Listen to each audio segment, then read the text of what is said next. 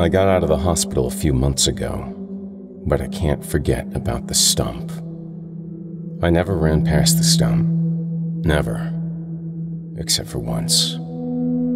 The stump had been there for years, at the edge of where I turned around on my runs. Right at that point where I knew I would have a hard time getting back without walking. Except for that day. Last spring, around noon on a Saturday, gentle breeze, high 70s, the sun dipping behind the clouds every few minutes. Perfect weather. Something about the daylight had always made me feel insecure. It was the night we were always supposed to be wary of the shadows and the silence when the bugs would stop making noises. That's when you were supposed to worry. That's when the hairs were supposed to raise when everything felt wrong. Not during the day, though. Not when everything was supposed to be safe. That was never how I worked, though. I was always wary of the daytime growing up. I never had nightmares at night. My nightmares were during nap times, during the day, when everyone else thought that the world was safe. I grew up as a cautious type of kid. I was afraid of a lot of things. Being alone used to matter so much more. I slept in my parents' bed until I was four or five, and even after that, I felt uneasy sleeping alone. Most kids feel safe if they bundle up enough in their blankets, but I never felt safe. I always felt as if I were laying on an island surrounded by evil, and nothing I could do could protect me from that. Back in high school, running was easier. I could eat what I wanted and run whenever I felt like. My run times really never got affected by those things. I was a quick kid, too. I was running low five minute miles. One time, I even ran a 450 mile. Not really competition speeds for college, but pretty good for a kid who just enjoyed going to city runs on the weekends. I used to imagine myself as a gazelle, running from a cheetah or some other large cat. The cats win, sometimes, but the gazelle has form over power grace over strength. When chased, the gazelle will take every step with the intent to survive, that need to live. That was the past. After all that time running six minute miles hurt, I became more of a seven minute mile type, which was fine. I wasn't racing anymore, just doing it for fun. For me, running had always been a form of meditation. About a mile or so into a run, everything would loosen up and it would become easier to stride out. The stress on the body always felt good and pushed my mind to concentrate on the moment, to decompress, to re evaluate. On that Saturday, everything felt right. Everything was more than fine. It was the perfect day. I was approaching the stump and I felt amazing. The best I had felt on a run in years. Years. I approached the stump and I hurtled like a track star. I didn't feel like I scraped anything. It was a clean jump, but I still heard a scratching sound. I didn't turn back. I was just in the zone. Birds and other animals in the woods were common on my runs. I ended up running another mile into the woods. I had never been that deep in. I was probably around five miles from the house when I saw a bit of smoke in the distance. I knew that there were other trails in the woods, but the trail I used was the nice one the trail that the sun could touch almost all day. It was a cottage. That's where the smoke was coming from. The random cottage's chimney out deep in the woods. Totally not fit for anything to live in, but there it was. Something about the way the house sat on its foundation made it seem to be twisted, somehow abnormal. The windows were uncharacteristically high, almost beginning at chest level. I started to run in place, considering whether or not to keep moving forward or to turn back. The curtains in the window had some sort of floral pattern. I didn't want to trespass. I never knew who the woods really belonged to out there. Suddenly, the curtain was thrown back, and the figure behind the window was looking at me, barely peeking over the base of the windowsill. The eyes were wide. I turned and I ran toward home. It seemed so far, it took me a very long time to make it back to the woods I was familiar with. I just kept running, pumping my arms and moving my legs, breathing strong inhale, strong exhale, strong inhale, strong exhale, focus, focus, equal breathing, equal breathing. That's when I saw the stump. Except it didn't look the same. Not how I was used to seeing it. Granted, I had never approached the stump from that side before, but I knew. I knew that there was something wrong. My chest tensed up a little bit more. I slowed down to give some rest to my hips. There was some sort of lump on the tree stump that I'd never seen, some type of cancer. The closer I got, the less the lump looked like a part of the tree. It looked like some kind of matted hair, clumped and moist. I had slowed down to almost a walk. I was just a few strides away from the stump when the moist lump opened its eyes. It was some type of animal, covered in dark brown fur that almost camouflaged the stump's bark. It was only after the eyes opened that I realized both of the animal's long arms were draped over my side of the stump. The head was far behind the stump. All I could see were the eyes peeking over, like the animal was hiding from me. Hi, Alexander. Mm. Alexander the Stranger, the Runner, the Lone Ranger. don't look surprised. You don't remember me? We used to be so close. You slept on top of the bed, and I slept below. It said. I looked at the arms of the animal covered in hair, powerful looking. I couldn't bring myself to speak at first. I hesitated. Uh, are you the devil? Oh, Alex. The devil is just a story. I am very real. I'm you. I'm not you. I'm something different. Something blue. Something better. It said. The animal started to tap the log's bark with all of its fingers. Its way of speaking seemed to trail off on certain words in a weird, distracted tone. I, I need to go. I, I want to go home, I said. I was looking at the hands of the animal, at the claws. It was tapping its fingers against the bark. I noticed my breathing wasn't rapid. I wasn't out of breath at all from the run. Instead, I was barely breathing at all, like I kept forgetting to take another breath every few seconds. I turned my head to look back at the cottage quickly to see if anything was coming from that direction. Nothing was there. I quickly turned my head back forward to keep my eyes on the creature behind the stump. Oh, now, Alex. Don't you worry about Mother. You'll never get to meet her. You'll never get to meet her, Alex. Hmm. That's what I'm here for. You shouldn't have looked. Didn't you learn never to peek under the bed, Alex? Triple X, not the sex. Not the sex. You aren't going where you want to go. This isn't the trail home. The trail of tears, the trail of fears. We're going to do something else. It said. Up until that point, the eyes had been wondering, contemplating what the next words would be. The animal seemed to enjoy the rhymes. Every rhyme would strike some sort of emotional chord with my childhood. The shows I watched, the things I would say growing up. Then, the animal's eyes locked right into mine. The things I'm going to do to you, Alex. Oh.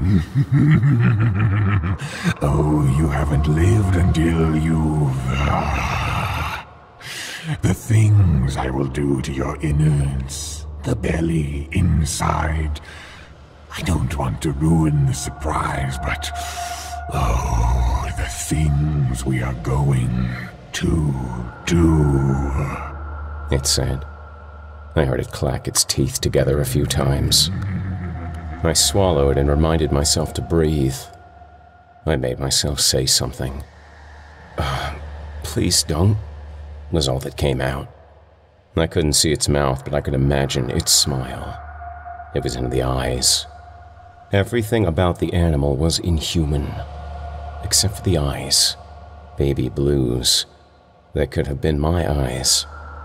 The eyes squinted a little in an expression mixed with intent. Are you going to pee yourself? Are you going to piss? Little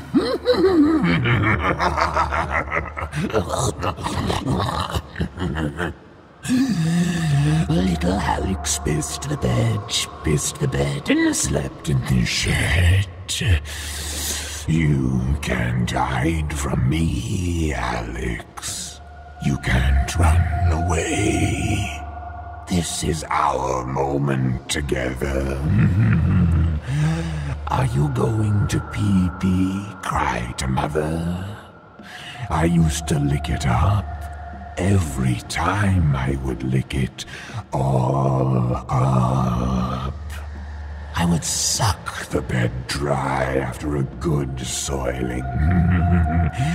what it must taste like after all these years. I've waited, Alex. I've waited to taste it from the source pure, unfiltered. I followed you for a very long time. Go ahead, go ahead, and do it for me. Do it for me, Alex. Just want to smell it.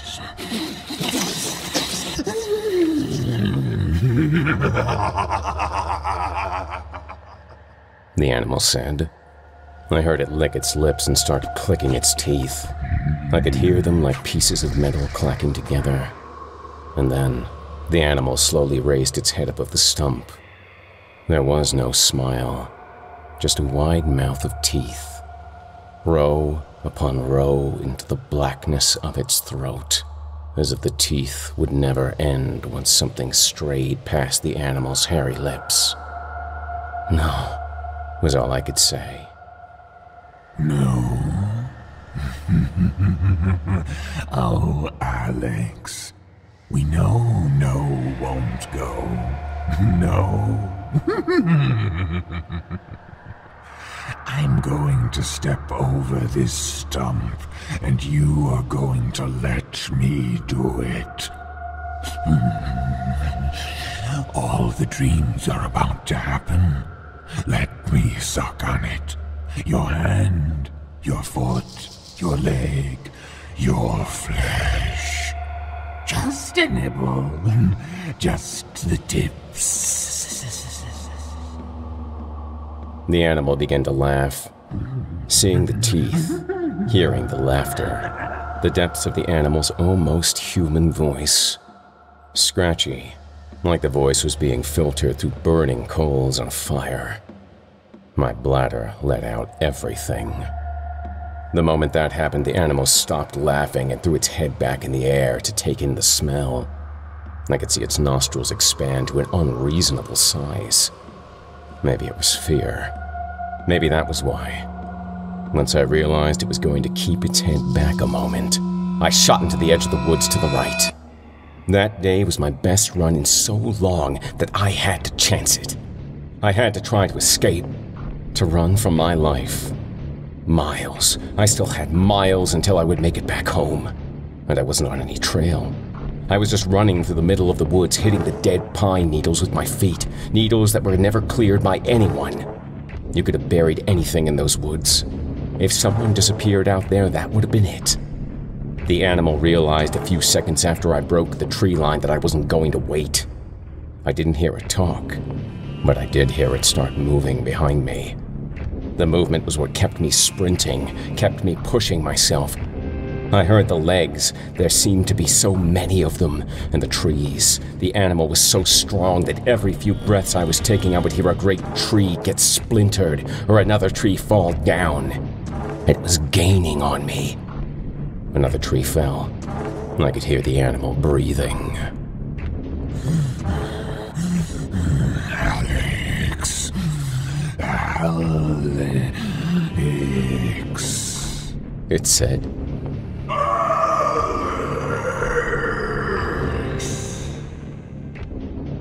I couldn't turn around. I didn't want to. If it weren't for the terrain, I would have closed my eyes, hidden deep inside myself, and hoped to wake up alive. The breathing was so close, almost right next to my ears. I didn't want to see. I didn't want to see the moment happen. I wanted to try to fight until the very end. And that's when I found another trail. Out of nowhere, it was going in the same direction as the main trail I'd always ran down. I didn't think of anything besides getting home and escaping. I opened up my stride and I did my best to breathe correctly.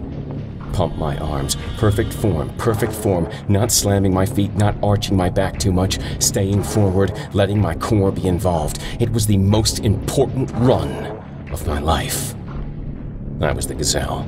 Breathe out. I had to be. Breathe in. I needed to be perfect. Breathe out. I needed to live. Breathe in. I knew I had a chance if I could sustain the pace, maintain, and not look back. Even on the trail, I could still hear the animal crashing through the woods behind me, as if the trail wasn't wide enough for whatever size the animal must have been. I didn't want to think about how massive it was, how easily the animal was going to tear me apart, how my skin was going to feel sliding off my bones. I tried to keep my mind on the run, on the breathing, when staying consistent, pushing off with each step long strides. I could make it if I kept the form, kept the breathing, ignore the pain in my shins and my thighs, how my hamstrings were starting to pull with the strain I was putting myself under, forcing myself to open up my stride. I was past muscle failure when I ran past the stump. I wasn't sure how I was doing what I was doing, but I knew I wanted to live. Knew that if I kept that in my mind, I could do it. I was so close. I saw the edge of the woods, and there was maybe a quarter of a mile before I was out. I wasn't sure how I'd never seen the trail I was on. It appeared that the trail would connect with the main trail before the end. I was there. I was going to make it. The animal kept running after me. It must have had so many legs, smashing through the bushes and tearing apart all the trees. Ten feet away from the wood line, I took a step, but my foot didn't land right. The animal had caught me by grabbing a hold of my foot. I was pulled to the ground. My head hit something while I was being flipped upside down. The animal raised me up to its face and spoke. Alex, I love games. I told you that you couldn't run. Was that torture for you? I let you get this far. the animal's tongue came out of its mouth. Long and grotesque, the tongue slipped down my shorts to taste the urine. It was a violating sensation. Sandpaper.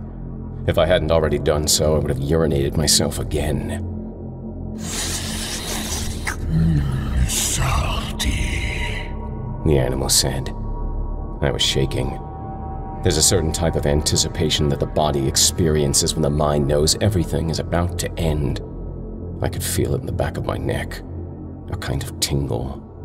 Instead of forgetting to breathe, I couldn't get enough air. My lungs were a vacuum. I was upside down but raised high enough to be eye level with the animal. The creature was something old and eternal. The hair matted in odd places, patches of scales, sharp joints of a being that should have died when the planet was young. My heart ached to be so close to home, but instead be looking at true evil.